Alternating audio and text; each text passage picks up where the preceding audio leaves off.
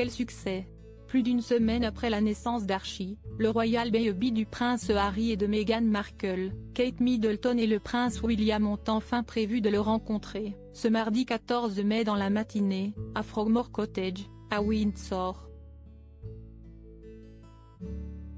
D'après des sources royales citées par The Mirror, les enfants du duc et de la duchesse de Sussex, la princesse Charlotte et le prince George, mouraient d'envie de rencontrer leur cousin. Une source du palais a déclaré, toute la famille a hâte de rencontrer le petit Archie et est très heureuse de féliciter enfin Harry et Meghan en personne.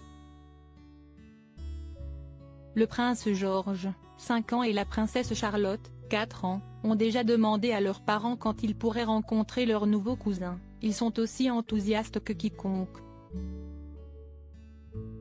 Le prince Charles, grand-père du royal baby, est tout aussi impatient de rencontrer son petit-fils.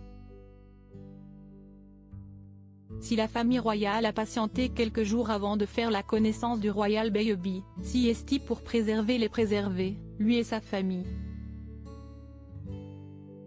La première semaine d'Archie à la maison avec maman et papa était calme, ils voulaient cet espace personnel avec leur nouveau-né, a expliqué l'expert royal Omid Scobie dans l'émission Good Morning America.